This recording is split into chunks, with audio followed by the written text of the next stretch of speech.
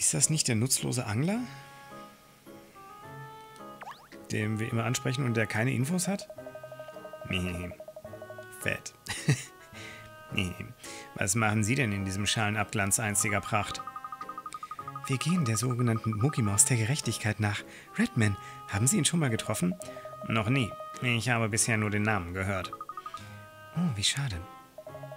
Jetzt lassen Sie mich mal was fragen. Haben Sie schon von Bolin Man gehört, der als Relikt der Vergangenheit hier für die Ewigkeit in Metall gegossen wurde?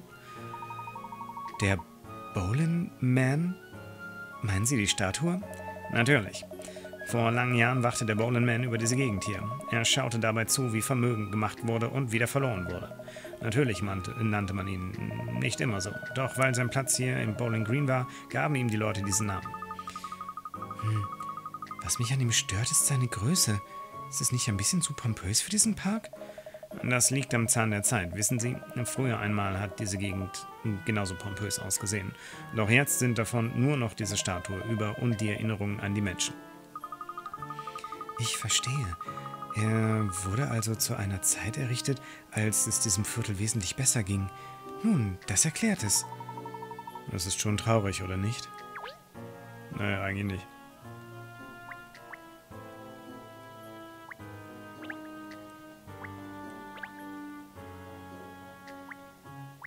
Keine Hinweismünzen? Hier vielleicht eine? Nein. Das Kind hat ein Rätsel für uns. Verrückt. Wohnst du in der Nähe? Jupp, gleich da drüben. Ich komme andauernd in den Park. Also zu dieser Statue, weil sonst ist ja nichts da. Dein Kostüm gefällt mir sehr gut. Magst du Superhelden? Superhelden sind das Größte. Sie haben vor gar nichts Angst. Das stimmt. Sie sind einfach famos, nicht wahr? Sie mögen auch Superhelden? Mein Liebling ist Redman. Er ist der Beste. Er ist stärker als alle anderen. Ich würde wetten, dass er sogar dieses Ding besiegen könnte. Welches Ding? Das Ding aus dem Sumpf? Kernkrieg. Ein fieses Blockmonster ist aufgetaucht. Oh nein! Du kannst das Monster besiegen, indem du alle Blöcke zerstörst, aber dabei kannst du nur Kernblöcke angreifen. Nimm du einen Kernblock, einen Block mit einer leuchtend roten Kugel auswählst, werden dieser Block sowie die Blöcke um ihn herum, auf die die Pfeile zeigen, zerstört. Zerstört man. Zerstöre alle Blöcke, um die armen Küken zu befreien. Was denn jetzt für Küken? Ach so, hier unten. Okay. Ähm, und die, also bewegt sich hier dann was oder?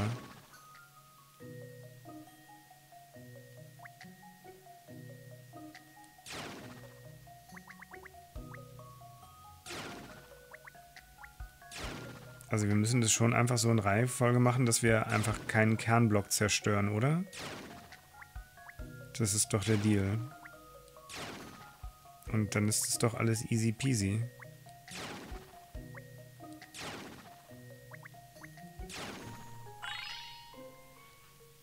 Wir können also Schlussfolgern. Zum Glück habe ich das richtig gemacht. Und das gab 45 Pikarat?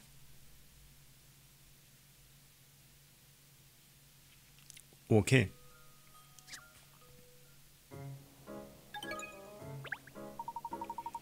So, das Gute besiegt mal wieder das Böse. Wow, das war erstaunlich. Sie sind ja auch ein Superheld. Ich, ich glaube aber nicht, dass Redman wirklich gegen Monster kämpft, oder? Hm, und? Er könnte aber. Und ich wette, dann würde er auch gewinnen. Du klingst ja wie die absolute Nummer 1 der Redman... Äh, falsche Stimme. Du klingst ja wie die absolute Nummer 1 der Redman-Fans. Das bin ich. Niemand mag Redman mehr als ich und meine Mama hat mir auch diesen coolen Anzug besorgt. Ich würde wetten, Sie haben kein Redman-Kostüm. Äh, nein? Äh, hast du Redman denn schon mal gesehen? Oder hat er dir sogar schon mal geholfen? So ein Quatsch. Redman kommt doch nur nachts raus. Da bin ich immer schon im Bett. Das freut mich für dich. Ähm,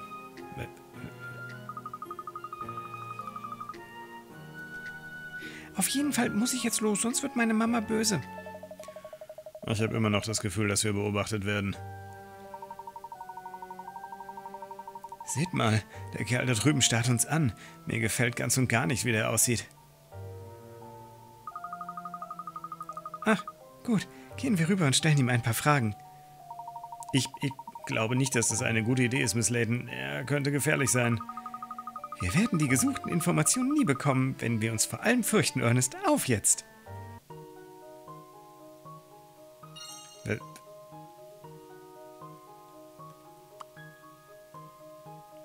Okay, ist der Hinweis jetzt, dass er nur nachts rauskommt?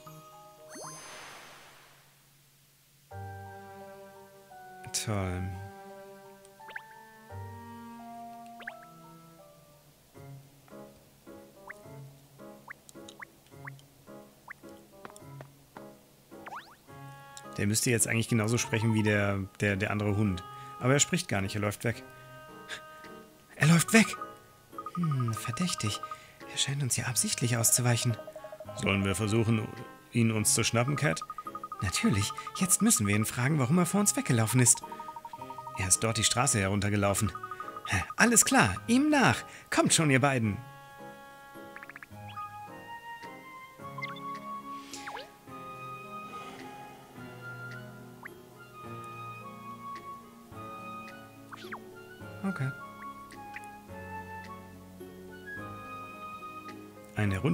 Heruntergekommenes Viertel in London, das man am besten meiden sollte. Ja, das wissen wir doch. Wir sind doch nur eine Straße weitergegangen. Es. Also, so stelle ich mir aber auch Straßen in Innsmouth vor. Ich habe den Eindruck, in Bowling Hill glaubt man nicht an Straßenbeleuchtung. Nein, anscheinend nicht. Die meisten anderen Teile der Stadt sind bei Nacht ja hervorragend ausgeleuchtet. Und schau dir den ganzen Müll an. Ich fürchte, die Gerüchte sind wahr, dass das hier ganz und gar keine gute Gegend ist. Hast du etwa Angst, Ernest? Äh, nun, das würde ich so nicht sagen. Ich meine, ich, ich bin nur vorsichtig. Äh, wollen wir wirklich Leute anhalten und ihnen Fragen stellen, Miss? Auf jeden Fall. Schließlich sagen uns doch alle, dass Redman sich meistens in dieser Gegend herumtreibt. Also haben wir hier auch die besten Chancen, jemanden zu finden, der ihn getroffen hat, oder nicht? Ja, der ganze Müll, der hier rumliegt. Eine Zeitung und da hat jemand schon mal sein Pfand nach draußen gestellt. Uff, ist ja richtig schmutzig hier. Damn, hatte er einen Seemann-Akzent? Hatte er einen französischen Akzent? Hatte er einen französischen Seemann-Akzent? Ich weiß es nicht. Er kriegt jetzt den Seemann. Entschuldigen Sie bitte, ich belästige Sie nur ungern, aber äh, wir suchen Leute, die Redman gesehen haben. Oh, Redman sagen Sie. Warum kriegt er jetzt den Cowboy? Den wollte ich nicht. Ah, Redman sagen Sie, Jungchen, ja? Oh, ah, den hat man im Bowling Hill schon oft gesehen. Schon oft? Wirklich? Na, aber klar doch. Na, einmal hat er mir sogar geholfen, wissen Sie. Wir würden gerne mehr darüber erfahren, wenn das möglich wäre. Oh, das lässt sich machen, Miss. Es muss inzwischen wohl sechs Monate her sein. Alter. Halt, komm zurück, du kleiner Knurrhahn. Gib das wieder her. Tja, was bringt das schon? Er ist zu schnell für mich. Wo bleibt die Hilfe, wenn man sie wirklich brauchen könnte, hä? Aus dem Untergrund steigt er wie ein Tier.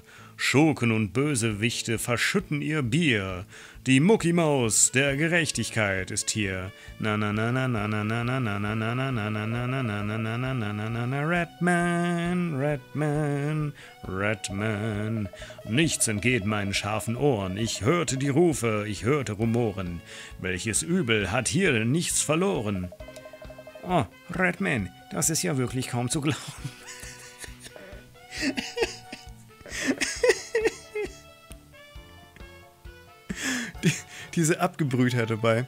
Oh, Redman, das ist ja wirklich kaum zu glauben. Ach, schön. Wie er auch total unimpressed da steht, so. Hm, nun. Ja, nun, ne? Ich, Ich stand zwei Stunden an dafür. Echt jetzt. Zwei Stunden, um mir dieses Spezialsandwich zu kaufen. Und dann kommt dieser freche Köder und schnappt es mir einfach aus der Hand. Was für ein Desaster, was für ein Dreck, aber Redman macht das schnell wieder weg. Ich erwische den Dieb des Snacks. Kill me. Halt sofort an, du Hündchen. Aha, die Gerechtigkeit siegt auch heute. Die Töle gibt sie auf, ihre Beute. Ich hatte mir schon gedacht, dass sie sowas macht, und ich habe keinen einzigen Schlag angebracht.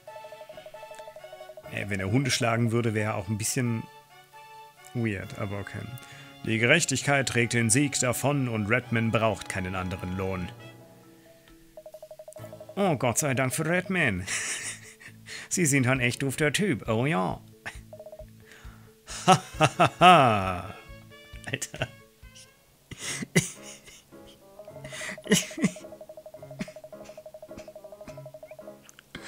Wie diese Stimme halt überhaupt nicht zu dem Typen passt. Wie er halt ultra der Schrank ist. Und halt einfach klingt, als wäre er gerade frisch aus Hamburg. Und.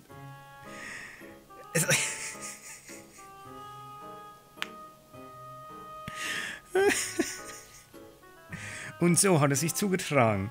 Ich bekam meinen kostbaren Leckerbissen zurück und das hatte ich nur Redman zu verdanken. Ich.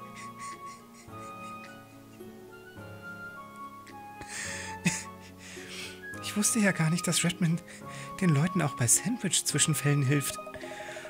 Redman hilft jedem, der Hilfe braucht. Nur hat ihn in letzter Zeit niemand mehr gesehen. Ich mag mir gar nicht vorstellen, was ihm zugestoßen sein mag. Also selbst hier in Bowling Hill hat man, Red, äh, hat man Redman eine Weile nicht gesehen. Äh, oh, aber ich habe hier in der Gegend auch schon andere berühmte Leute gesehen. Wirklich? Wen zum Beispiel? Na, zum Beispiel dieser stinkende reiche Knilch mit der Brille. Äh, wie, wie, wie heißt er noch? Ach, das war's. Kahn. Robert Kahn. Sie meinen, dass Sie Mr. Kahn hier in Bowling Hill gesehen haben? Ei, na sicher. Ei. Oh, Gott, jetzt.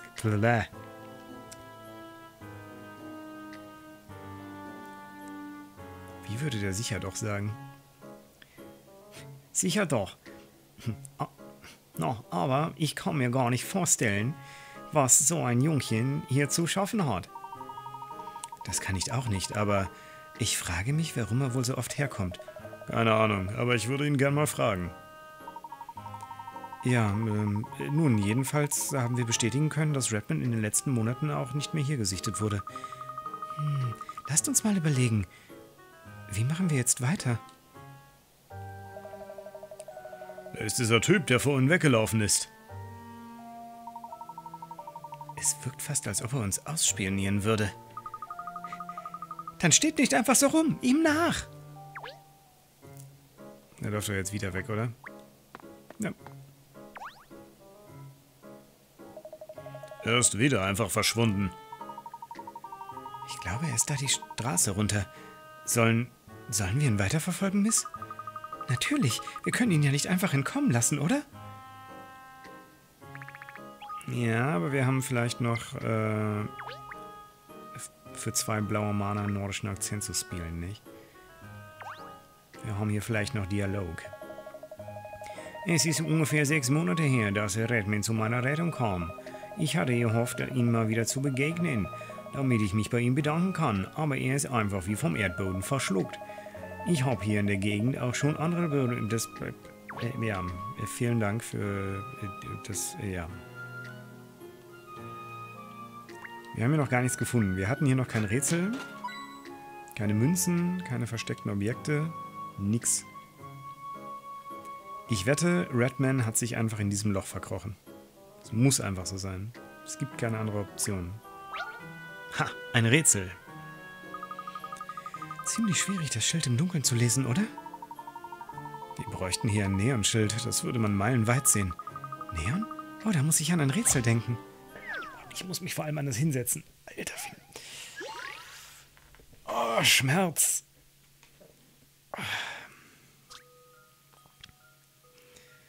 Wir haben hier einige Neonschilder. Eins der drei Schilder ist nicht eingeschaltet. Auf jedem Schild sind zwei Buchstaben, die in einer einheitlichen Weise aufgereiht sind. Welcher Buchstabe steht auf dem dritten Schild? Gib die Buchstaben in die beiden Kästchen ein. Moment, was? Wir suchen einen Buchstaben. Was? Ach so, zwei Buchstaben, okay. Welche Buchstaben stehen auf dem dritten Schild? Okay. Eins der drei Schilder ist nicht eingeschaltet.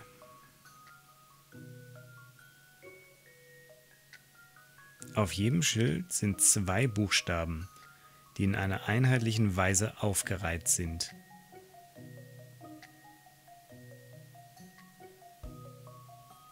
Ja, okay. Ähm, es sind G und H. Got it. Es sind halt Buchstaben direkt aneinander gepappt. Hier ist es halt ein C und ein D. Und das hier ist halt ein E und ein F.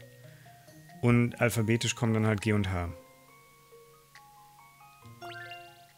Wir können also Schlussfolgern.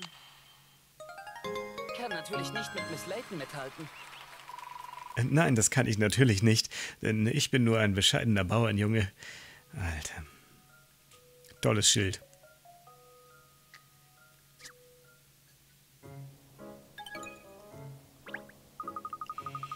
Eigentlich ist dieses Schild hier perfekt geeignet für die, die Gassen von Bowling Hill.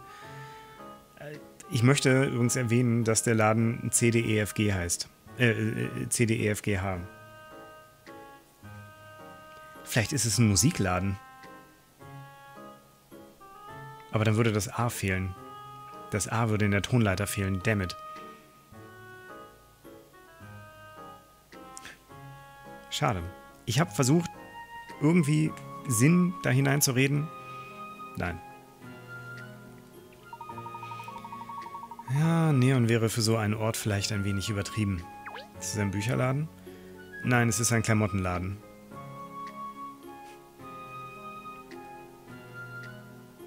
Aber vielleicht verkaufen sie Anzüge in den Größen CD, EF und GH. Wer weiß das schon. Ich weiß noch nicht, ob ich es herausfinden möchte. Was haben wir hier noch? Der Laden hat sogar noch offen. Crazy. Gibt es hier sonst noch irgendwas zu entdecken? Hügel zum Park hoch. Hier gibt es offenbar Kek äh, Kekse. Kuchen gibt es da, wollte ich sagen. Da ist noch ein Münzchen. Hm. Was war hier? Kein sehr einladender Ort. Ist sehr schlicht, fast schon trist. Ja, gut. Kann man jetzt so oder so sehen. Hinweismünze. Wir haben vor lange kein Sammlerobjekt mehr gehabt.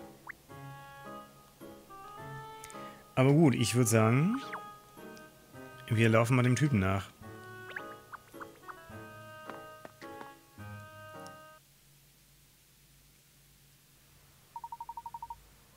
Das ist eine Sackgasse. Eine dunkle Sackgasse. Ihr habt mit Sicherheit kein Ort für jemanden wie Sie. Sie haben hier in der Gegend nichts verloren, Lady. Wenn Sie nicht Ihr hübsches hier, nicht, wenn Sie Ihr hübsches Gesicht behalten wollen, klar? Pass auf, Cat, der riecht mächtig nach Ärger.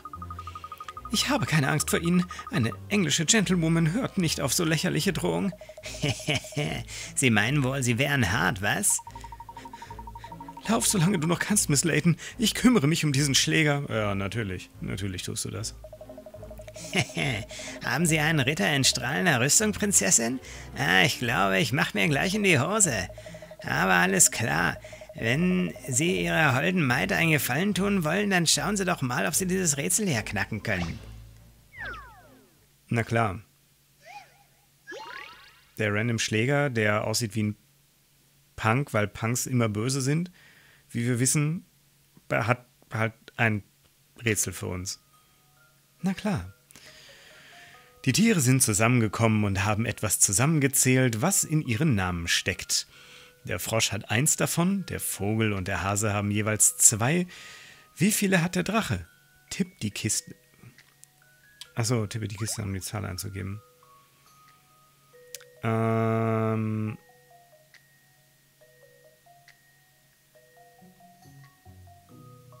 Oh, okay. Ja, es sind halt eingeschlossene Teile. Und der Drache hat drei. Nein, ist es nicht. Dann müsste der Frog nur eins haben. Never mind. Ja, sonst würde es total passen. Halt Bird mit 4, Rabbit mit 5. Weil das A ist offen. Dang it. Ähm. Der Frosch hat, also im Deutschen ist es auch anders. Der Frosch hat 1, Vogel und der Hase haben 2. Sind es Vokale? Nein, kann es nicht sein. Also im Deutschen ja. Der Frosch hat ein Vokal, Vogel und Hase haben zwei Vokale. Aber das passt mit dem Englischen halt so gar nicht.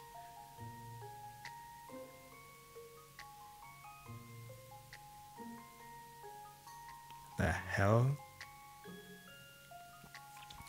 Von was, von, von was steckt denn in dem Wort Frosch 1 und in, und in, in Frog 1 und in Bird 4?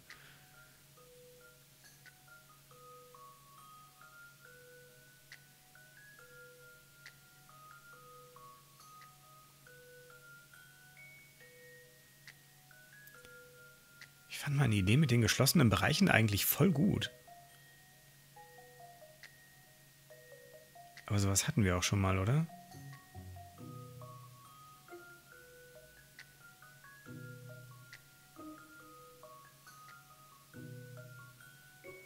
Ich überlege die ganze Zeit, ob es irgendwie was mit geraden oder gebogenen Linien zu tun hat, aber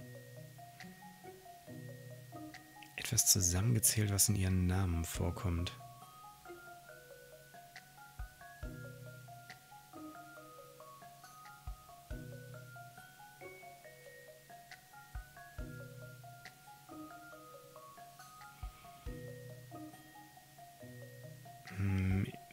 Die inneren Halbkreise, also meine Idee nur ohne das O.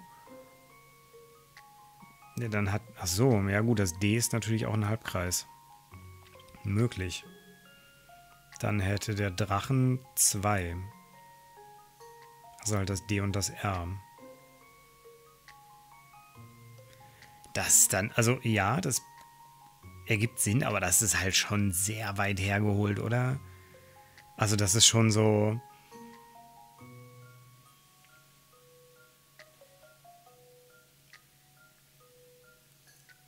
weiß ich halt nicht.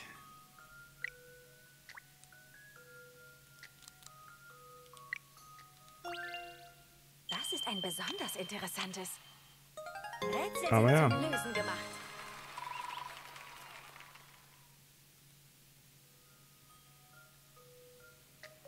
Es geht um die Anzahl der D-Formen.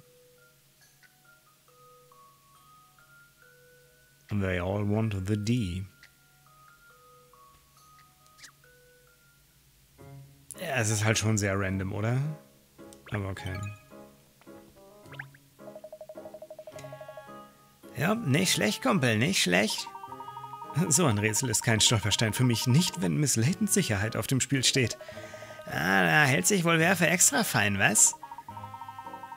Wagen Sie es, ja nicht auch nur einen Finger an Miss Layton zu legen, Sie schrecklicher Schurke. Tja, da habe ich mir wohl ganz umsonst Sorgen gemacht, was? Wenn Sie so selbstsicher sind. Was? Habe ich das gerade richtig gelesen? Jetzt hören Sie mir mal zu. Ich schätze, Sie sind also eines von diesen Bandenmitgliedern, die gedroht haben, die Leute hier auszurauben? Was? Ich? Nee, sowas mache ich nicht mehr. Ich wollte Ihnen gar keine Kohle abknöpfen, falls Sie das denken. Ich wollte Ihnen nur sagen, dass Sie mal lieber nach Hause gehen, klar? Wenn es dunkel wird, ist hier nicht mehr sicher. Äh, was? Sie wollten uns gar nicht bedrohen? Tja, das ist äh, aber anders angekommen. Klingt, als ob er gar nicht so schlimm wäre, dieser Kerl. Vielleicht ist er ja nur missverstanden. Ah, schicker Hund. Ja, richtig knuffig. Komm mal her, Junge. Dann streichle ich dich. Oh, da hast du richtig Glück, Scholl. Er will dich mal streicheln. Wahrscheinlich erschreckt er mich dabei auch noch zu Tode. Ah, wer auch immer. Ich bin ihrer. Bowling Hill ist meine Heimat. Hm, In dem Fall schätze ich, dass sie wohl... Was? Hat er nicht, hat er nicht gerade gesagt, dass das seine Heimat ist? Oder habe ich mich verlesen? Er hat doch gerade gesagt, es ist seine Heimat, oder? Also er hat gerade legit gesagt, er wohnt hier.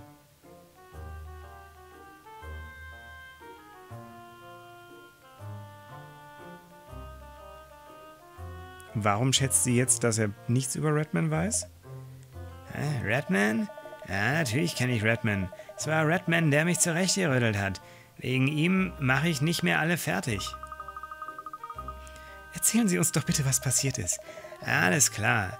Es muss wohl, pff, ah, wie lange mag das her gewesen sein? Also drei Monate. Irgendwie sowas.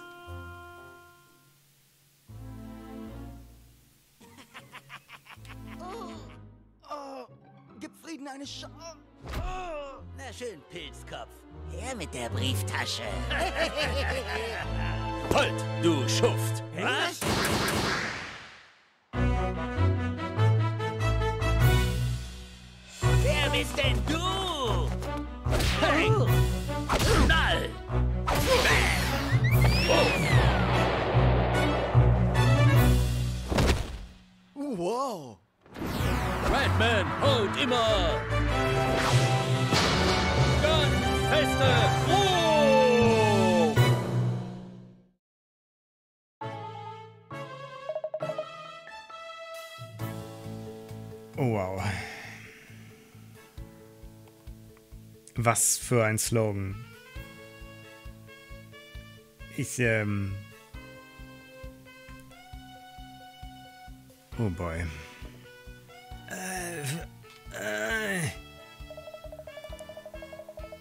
Der Boden erwies sich doch als hart. Tja, das hast du nun von deiner Lebensart. Vom Verbrecherleben kriegt man nicht nur einen Kater. Du tust anderen weh damit, wie etwa deinem Vater. Was sagst du da? Einem wehtun? Was soll denn das bedeuten? Deine Eltern sind gemeint, mein Freund, deren Leid hast du wohl ganz versäumt. Äh, Eltern, hä? Ich, ich schätze, sie machen. Sie machen sich wohl wirklich Sorgen um mich. Du brauchst nur ein Pflaster für deine Wunden, aber das Herz deiner Eltern, die Herzen deiner Eltern sind nicht so schnell verbunden. Werde endlich ehrlich, denn sonst leben sie gefährlich. Ehrlich werden? Äh, Ich weiß nicht, ich bin schon zu weit hier gegangen. Es ist zu spät. Niemals. Die Rettung der blutenden Herzen kommt noch in Fahrt, wenn du versuchst einen neuen Start. Es steht viel auf dem Spiel, also such dir ein neues Lebensziel. Alles klar, hör bitte nur einfach auf mit dem Reimen, okay? Ich tue es ja schon, ich tue es ja schon. Junge, ich weiß, du wirst das schaffen, doch jetzt schwing ich mich davon wie die Affen. Ey, wo willst du nur hin, Redman? Heute Nacht wird Geschichte geschrieben, das größte Ereignis in meinem Leben. Sowas hat es noch nie gegeben. Einen guten Abend wünsche ich dir, aber das war's jetzt für mich hier. Redman! Ey, komm zurück! Ja, und seitdem habe ich ihn nicht mehr gesehen. Es war mein letzter Blick auf ihn und er hatte einen wirklich entschlossenen Gesichtsausdruck. Ich schätze, er wollte sich mit den ganz Großen anlegen. Er wollte die echt schweren Jungs platt machen, wenn er mich fragt. Aber trägt Redman denn nicht eine Maske? Wie konnten Sie denn dann seinen Gesichtsausdruck erkennen? Und wen genau meinen Sie mit den echt schweren Jungs? Ah, ihr, ihr wisst doch, von wem ich rede, oder? Ihr, ihr wisst schon. Alle Superhelden haben doch einen Erzfeind, oder? Das weiß doch jeder. Auf jeden Fall hat Redman mich zurechtgerückt. Deshalb versuche ich auch jetzt alles zu tun, was ich kann, äh, um es sehr sicherer zu machen. Genau wie Redman getan hat. Wenn das vor ungefähr drei Monaten war, dann war das die Zeit, in der Redman verschwunden ist, oder? Vielleicht können wir hier irgendwo einen Hinweis darauf finden, warum er verschwunden ist. Setzen wir unsere Ermittlungen noch etwas fort. Oh boy. Ich weiß nicht, ob ich meine Ermittlungen heute noch fortsetzen will.